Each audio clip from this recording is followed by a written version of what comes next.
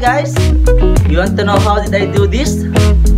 So, check out! Kung bago ka lang sa channel ko, don't forget to hit the subscribe button and click notification bell para updated ka sa mga videos ko. Hi guys! Kung wala ka pang Filmora 9, check my previous videos para matulungan ka na i-download ang Filmora 9 in full version. So first, um, kunin mo yung video mo na ating i-edit. So, ito yung akin. Drag mo lang.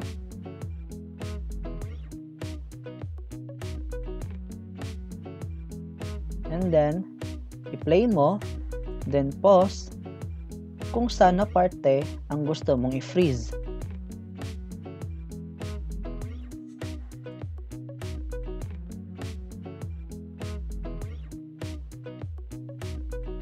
So, yung akin ay dito na part. So, snapshot. Then, drag it. Then, like that. Then, right click. Then, crop the zoom. Click.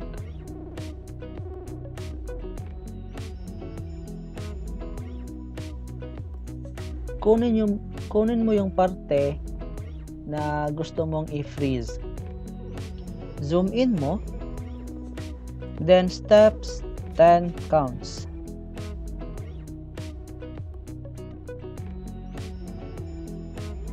Yan. Then cut. Pagkatapos ay pumunta ka sa huling parte ng picture. Then Step 10 counts.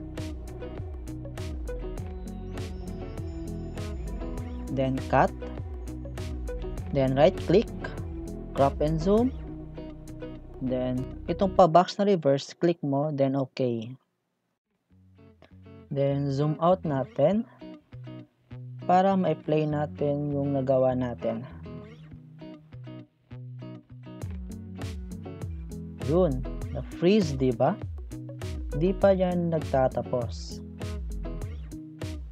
Pwede mo ring palitin ang seconds pero nasa sa inyo na kung gaano kataas ang pag-freeze.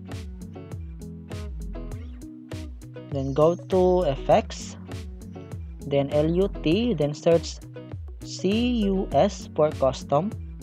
And pag nakita nyo na yan, drag mo lang. Kagaya ng ginawa ko. Uh, double left click.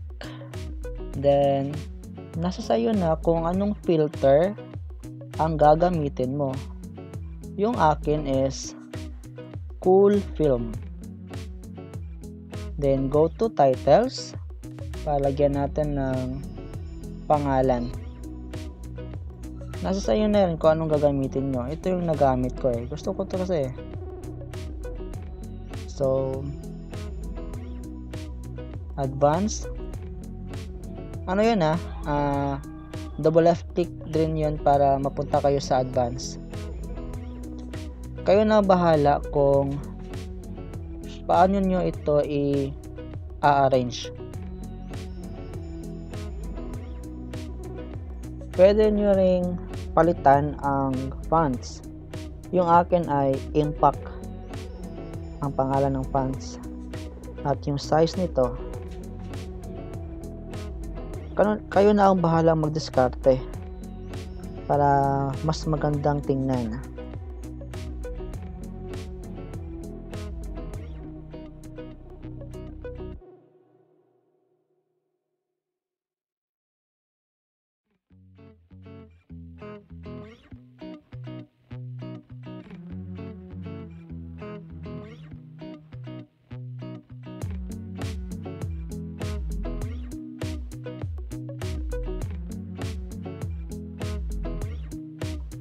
Kapag natapos na kanya mag-arrange, palitan nyo yung title kung anong gusto nyo na pangalan na ilalagay. Akin is mutant. Then, nasa sa inyo na rin kung anong kulay ang gusto nyo. Yung akin ay ito. Wala lang. Trip lang. Ang ganda kasi. Dito rin.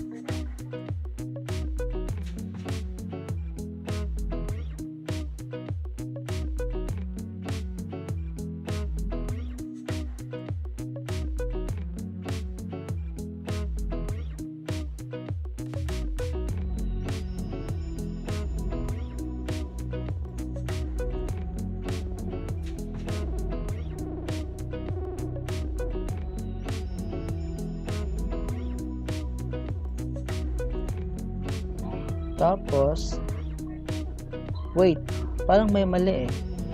Wait lang ha. Check ko.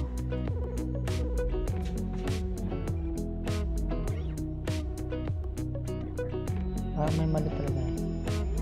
Ah, kaya pala, hindi ko na ipantay. Dapat pantay yan ha.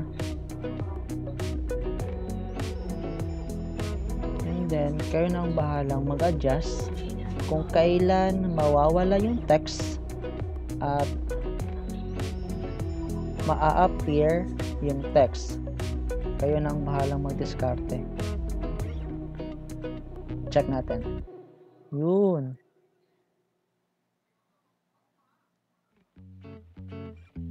So, kayo na rin ang bahala kung kayo na lang ang bahala maglagay ng audio na gusto nyong ilagay.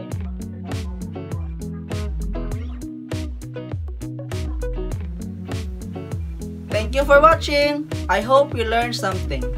Don't forget to click the subscribe button and ring the notification bell para updated ka sa mga videos ko.